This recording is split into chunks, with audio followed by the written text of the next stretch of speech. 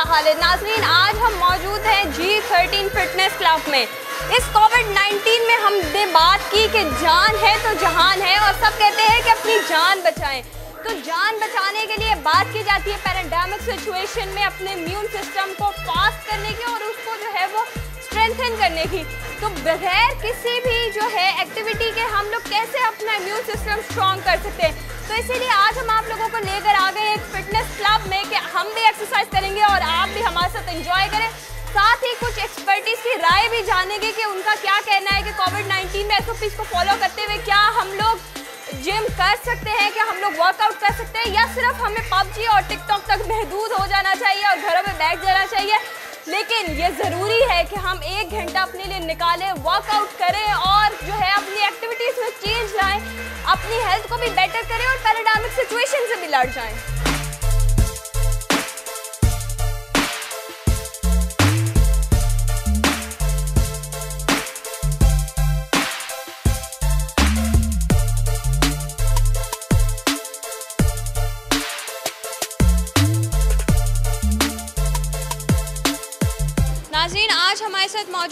Fitness expertise Nadia Saqib उनसे जानेंगे कि उनकी क्या राय है फिटनेस के बारे में, क्योंकि वो as a trainer as an instructor काम कर रही हैं। अभी इस पैनाडामिक सिचुएशन में भी उन्होंने हार नहीं मानी और जो है तमाम एस को फॉलो करते हुए फिटनेस को प्रमोट करी है। तो सबसे पहले हम उनसे जानेंगे कि उनको वो फिटनेस के बारे में क्या सोचती है और फिटनेस को लेकर उनके क्या ख्याल हैं। असलम सबसे पहले तो बहुत शुक्रिया आपका नादिया आपने हमें टाइम दिया। तो सबसे पहले मेरा आपसे ये सवाल है कि fitness as a fitness instructor fitness क्या है?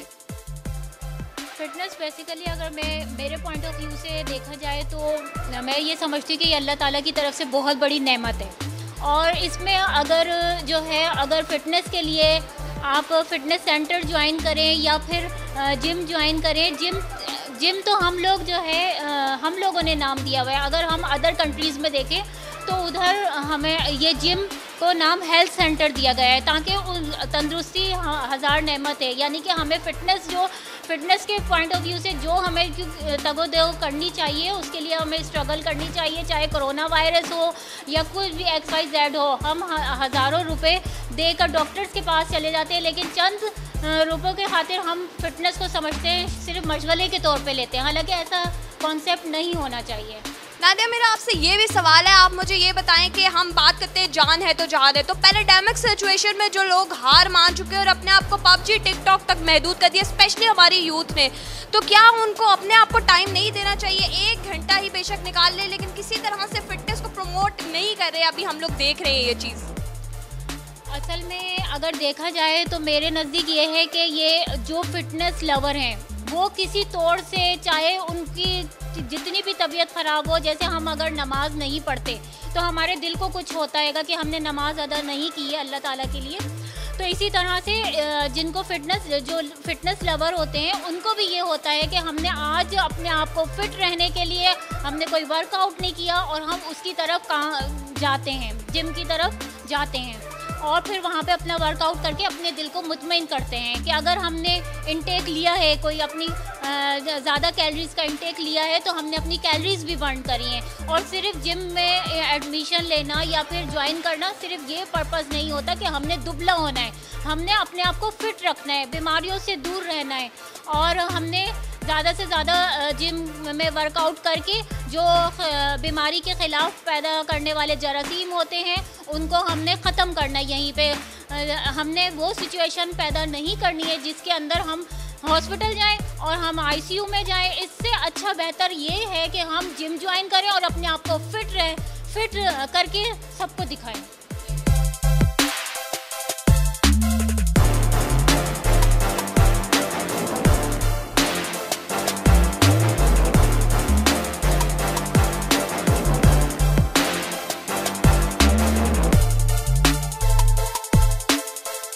नादिया आपने बहुत अच्छा पॉइंट यहाँ पर रेस किया कि लोगों ने सिर्फ़ जो है पैनाडामिक सिचुएशन को जो है वो ज़रिया बनाकर और उसको बेस बनाकर फिटनेस जो है वो उसके ऊपर बिल्कुल भी नहीं आ रहे। उस तरफ़ साथ ही मैं आपसे ये भी जानना चाहूँगी कि आपके जिस तरह आपने कहा कि जिम में एडमिशन लेते हैं तो इस तरह से लोग सिर्फ़ दुबला होने आते हैं।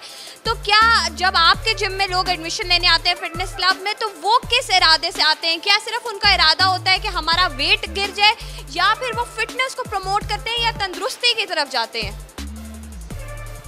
बहुत अच्छा क्वेश्चन किया है आपने अक्सर, और ये इस सिचुएशन का मैं अक्सर सामना करती हूँ, क्योंकि कोई भी लेडीज़ आती है मेरे पास, सबसे पहले उनका ये होता है कि अगर मैंने एडमिशन ले लिया है तो तीन से चार दिन हो या वन वीक हो, और उसके अंदर कोई मैजिक हो जाए, कोई ऐसी मैं छड़ी घुमाऊँ कि वो फ़ौरन से दुबली हो जाए।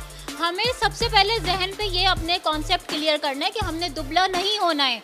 हमने फैट लॉस एक हेल्दी डा, हेल्दी डाइट से हमने अपने आप को फिट रखना है। और दूसरा ये कि यहाँ जो मैंने ज़्यादातर देखा है लेडीज़ का बस उसमें ज़्यादातर जो स्कूल गोइंग यूनिवर्सिटी गोइंग होती हैं वो सिर्फ़ पढ़ाई पढ़ाई और पढ़ाई की तरफ़ ही रहती हैं। बैठ के पढ़ना फिर खाना खाना फिर पढ़ने बैठ जाना या फिर प्रेगनेंसी के बाद जो माएँ होती हैं, उसके बाद वो आती हैं तो उनका भी यही होता है कि हम फ़ौर से किसी तरह से दुबले हो जाएँ। देखिए जब इतने सालों का जो है, बढ़ा हुआ फैट है, आपकी वज़न इतना ज़्यादा बढ़ चुका है तो एकदम से मैजिक नहीं हो सकता क्या आपने हेल्दी वे से, हेल्दी डाइट से आपने अपने आप को कवर करना है, अपनी कैलोरीज को बर्न करना है, अपने आप को फिट एंड हेल्दी बनाना है।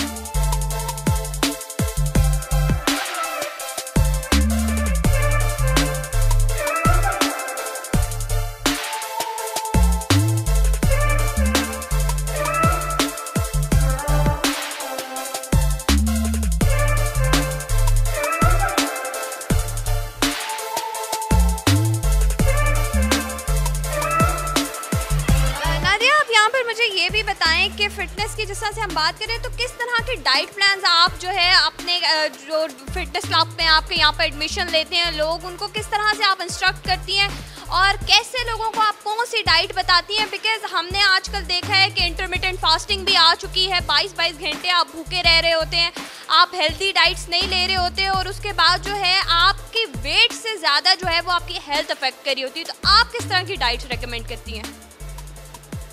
देखें अक्सर ऐसा है ना कि जो लोग भूखे रहते हैं उनका वेट तो कोई फ़र्क पड़ता नहीं है। उन्नीस बीस का फ़र्क पड़ जाता है, लेकिन उनको जो मसाइल का सामना करना पड़ता है, चलो उनका वेट कम हो भी जाता है, बहुत ज़्यादा अगर फाके करते हैं या फिर डाइट नहीं लेते तो उनका फ़र्क पड़ तो जाता है, लेकिन उनको मज़ीद आगे जाके ये उनको रियलाइज़ होता है कि हम किस तरह से बीमारियों के शिकार हो गए, हमारी वाइटामस की, हमारी बोन्स की डेफिशेंसी या वाइटामस की डेफिशेंसी हो रही है और हम उसको किस तरह से डॉक्टर्स के पास जाके कि हमसे ये हुआ डॉक्टर भी उनको समझाते हैं कि अगर आपने वेट लॉस करना है या फैट लॉस करना है तो उससे आपने हेल्दी डाइट से करना है। इसके लिए मैं आप ज़्यादातर अपने मेंबर्स को जिम मेंबर्स को यही रिकमेंड करती हूँ कि आप जूसी फ्रूट लें, ज़्यादा से ज़्यादा जूसी फ्रूट लें, ताकि उससे इम्यून इम्यून सिस्टम जो है हमारा ज़्यादा बिल्डअप हो। और जब हम हेल्दी डाइट लेंगे और एक और बात मैं क्लियर करना चाहूँगी, ज़्यादातर लोग ये बोलते हैं कि हमने सात बजे के बाद आठ बजे के बाद नहीं खाना। जो सात और आठ बजे के बाद खाना नहीं खाते, उनके साथ ज़्यादातर ये होता है कि वो बुढ़ापे की तरफ़ जाने लग जाते हैं। हमें साथ हमें रात को खाना चाहिए, लेकिन अच्छी डाइट के साथ, अगर हम, जैसे कद्दू होता है, बड़ा कद्दू होता है, उसकी हम स्मूदी बना लें तो हमारे मेटाबॉलिज्म को वो तेज़ी से बूस्ट करता है। इसी तरह से अगर ये होता है कि हम अगर ये है कि आपने ज़्यादा नहीं खाना, ज़्यादा कोई चीज़ नहीं लेनी, लेकिन मेटाबॉलिज्म सुबह में ज़्यादा वर्क करता है, ये बिल्कुल सही है बात है। लेकिन आपने रात को जो मेटाबॉलिज्म कम वर्क कर रहा है, आपने उस, ऐसी खुराक लेनी जिससे आपका इम्यूनिटी पावर भी आपकी स्ट्रांग हो और आपका मेटाबॉलिज्म तेज़ी से वर्क करे।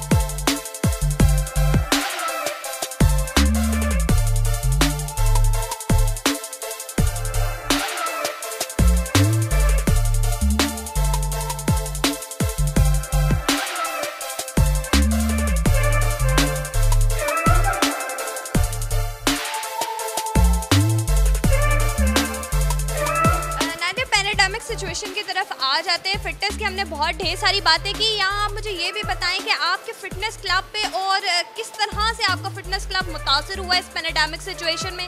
क्या मनफी असरात आपने अपने फिटनेस क्लब में जो है वो पाए हैं इस पैनाडामिक सिचुएशन के? और किस तरह से आप लोग एस इसको फॉलो कर रहे हैं अभी? देखें, सबसे पहली बात तो ये है कि कोविड नाइन्टीन से सिर्फ़ एक जिम या फिटनेस सेंटर ही मुतासर नहीं हुआ। पूरी मीशत मुतासर हुई है। इसी तरह से लोगों में बेरोज़गारी का सामना करना पड़ा है।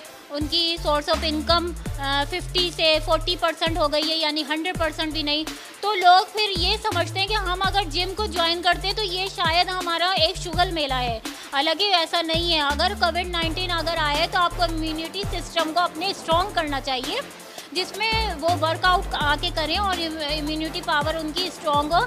लोगों में ज़्यादातर कॉन्सेप्ट ये होता है कि अगर हम जिम जाएँगे, हम वर्कआउट करेंगे एरोबिक्स योगा जुम्बा क्रॉसफिट वगैरह करते हैं फिजियो बॉल की एक्सरसाइजेज वॉल की एक्सरसाइजेज करते हैं तो हमें ब्रीथ इन और ब्रीथ आउट उधर करना पड़ेगा। ज़्यादा से ज़्यादा करना पड़ेगा और जैसे करोना जो है उधर ही ज़्यादा आया हुआ है। ऐसी कोई बात नहीं है। यहाँ पे हम लोग भी हैं।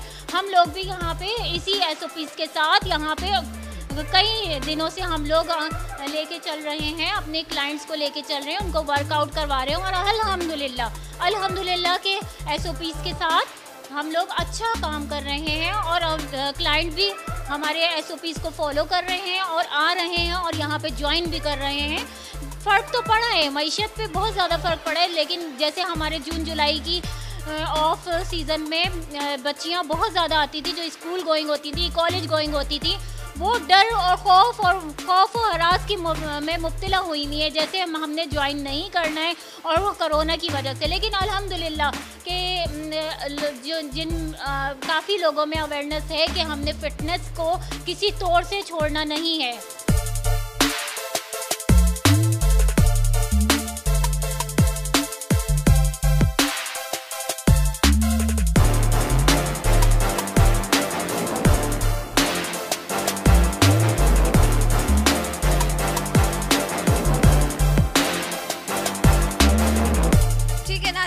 लास्ट क्वेश्चन मेरा आपसे ये है कि फ़िटनेस को हम प्रमोट कर रहे हैं आज के प्रोग्राम में तो मैं आपसे ये जानना चाहूँगी कि जो लोग आज भी मुतासर हैं और जो लोग आज भी फिटनेस की तरफ़ नहीं आते और हम उनको जितना भी मोटिवेट करते हैं तो वो यही कहते हैं कि हम कल से शुरू करेंगे। तो उनको आज से शुरू कराने के लिए उनका आपका उनके लिए आपका एक लास्ट मैसेज क्या जाएगा?